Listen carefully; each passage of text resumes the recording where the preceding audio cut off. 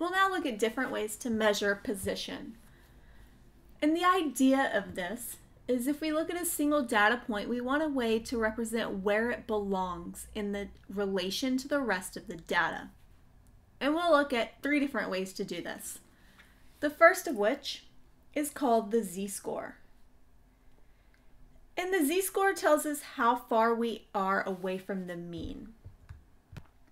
The formula for finding a z-score is to take your value, subtract your mean, and divide by the standard deviation. And the z-score represents the number of standard deviations you are away from the mean. We can have positive and negative z-scores. A negative z-score means we're below the mean, and a positive z-score means we're above the mean. Let's assume we have a student that took a statistics test. They scored an 84, and the test had a mean of 67 and a standard deviation of 6. This same student also took a calculus test. They made a 79. And the mean on this test was a 50 with a standard deviation of 9. So let's consider how they did in relation to the rest of the class. For the statistics exam, we would do their score minus the mean divided by the standard deviation. And if we work this out, we get approximately 2.83. Now let's consider how they did on the calculus exam. They had a score of 79, the mean was 50, and the standard deviation was 9. And if we work this out, we get a z-score of 3.22. Therefore, even though they had a lower score in relation to the rest of the class, they did better on the calculus exam than on the statistics exam.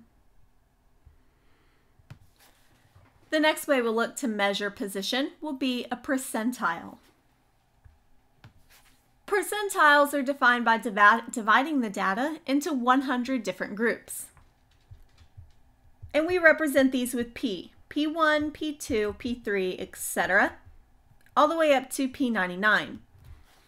And this does divide the data into 100 groups since we have everything below P1, everything below P2, below P3, etc. And then we also have the above P99. And so therefore, this is actually 100 separate groups. We'll first look at how to find the percentile. If we know what data point we want to deal with, we can find which percentile it belongs to here is our formula for finding the percentile. We need to order the data, and then we look at the number of values below our number x. We add 1 half and divide by the total number of values. Since we want this to be in terms of a percentage, we then multiply by 100. Let's assume we have a group of students and we have their test scores recorded. And here they are. We want to find the percentile rank of the number 83.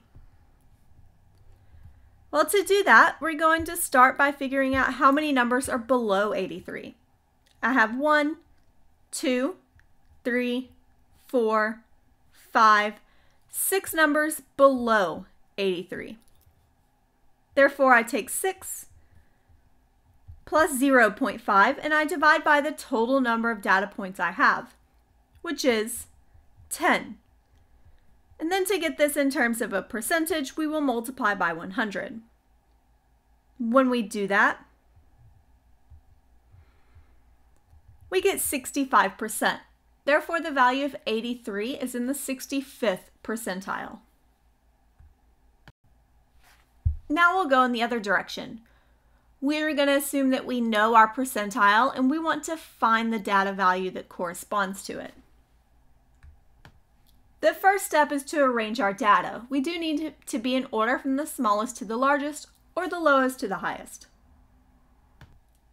We then use this formula, C equal to NP over 100.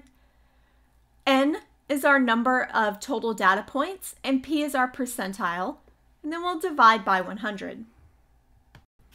If this number C corresponds to some kind of decimal, then we're going to round up. And then we're going to find that data value, and that will be the appropriate data value. On the other hand, if that value c is a whole number, we'll find the cth data value and the c plus first data value, and then we'll use the actual value that's halfway in between those two numbers. Here are the same values for the test scores that we had earlier, except that now they're arranged in order from smallest to largest. We're going to do two different percentiles. We'll start with the 75th percentile. Our formula says we need to multiply 75 by the total number of data values, which is 10, and then divide by 100. When we do, we get 7.5. And we always want to round up, so we'll round up to 8. And then we count out the eighth data value. There's 1, 2, 3, 4, 5, 6, 7. The eighth is the 91. So 91 corresponds to the 75th percentile. On the other hand, if I wanted to find the 40th percentile, I would multiply 40 by the fact that there are 10 data values and divide by 100 to get 4. In this case, I look at the fourth data value, which is 74, and the fifth data value, which is 78, and I find the number halfway in between, which in this case would be 76. The last measure of position we'll look at is a quartile. A quartile is similar to a percentile, except that now we divide the data into four different groups. Q2, which is our middle value that we need for our quartiles, is just the median. Q1 is the median of the lower half on the data, everything that's below the median. And then Q3 is the median of the upper half, everything that's above the median. Once again, we have our test scores ordered from smallest to largest. The easiest of our three values to find is Q2, which is the median. Here we can see that we have 10 data values. So to find the median, we need to go halfway between the fifth and the sixth. And halfway between 78 and 82 is 80. For Q1, we now only consider the data above, or below rather, below the median. So we are only considering these five values here. And we're going to find the median of those. Since there's five values, the number in the middle is 68. For our last one, Q3, now we're only going to consider the data values above the mean, median all of these five. And the middle would be 91. Similarly, we have the, or not similarly, along the same lines, we have the interquartile range. We usually denote this by IQR. And this is found by subtracting our third quartile minus our first. For example, in our last problem, we had that Q3 was 91 and Q1 was 68. Therefore, the interquartile range would be 23. We can use our interquartile range to formally define an outlier. Informally, these outliers are very high or very low data values when we compare it to the rest of the data set.